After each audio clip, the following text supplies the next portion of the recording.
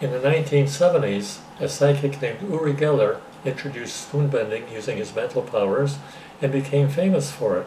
Well, I don't claim to be a psychic, but I can bend this fork using my brainwaves and this headset.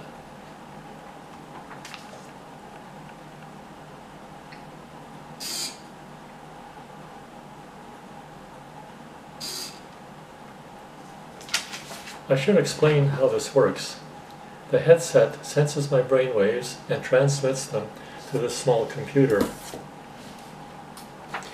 When I increase my attention level, the computer drives a small servo motor which pulls a thread connected to the fork and bends it.